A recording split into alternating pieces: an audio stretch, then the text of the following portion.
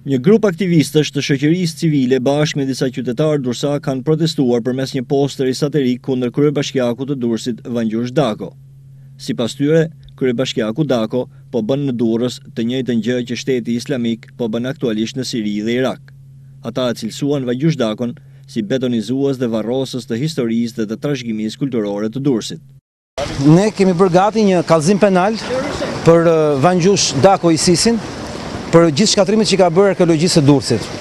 Tek sheshi para bashkisë u zbulua një pus i madh antik. Dhe gjithë zona ishte pjesë e katakombeve që vazhdojnë deri tek teatri.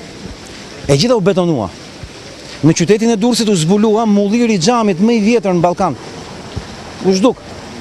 Këtu është lulishte, ish lulishte një maj.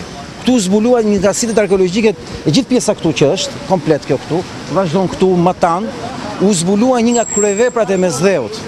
Një vënd ku bashkoheshin qytetërimet ilire, helene dhe romake. Do të ishte diçka unike, diçka e rrallë, të gjesh në të njëjtin vend tre qytetërime. Dhe ishte një vlerë e jashtëzakonshme edhe si pasojë disa punime hidraulike që vetëm në Romën e lashtë ekzistojnë. U zhduk. Ja ku jemi. Ktu është betonuar, shikoni gjithë të sheshtu. E gjitha kjo këtu deri në atë zonë aty, vazhdon dhe këtu është e betonuar, këtu ka dhe pallat. Kjo ka ndodhur në të gjithë plazhin e Durrësit. Kjo ka ndodhur në të gjithë pjesën e Durrësit vjetër. E gjithë zona A, zona B, të gjithë zonat përkatëse Është pjesë e shkatërrimit që vetëm ISIS-i mund ta ketë bërë në Siri dhe Dako këtu në Shqipëri.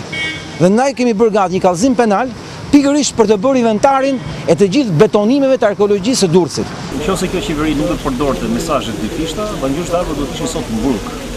Do të ishte sot në burg për betonizimin që i ka bërë këtij qyteti të mrekullueshëm, një nga kryeqytetet e metropolit për sa i përket pushimit veror që njerëzit kanë në vend.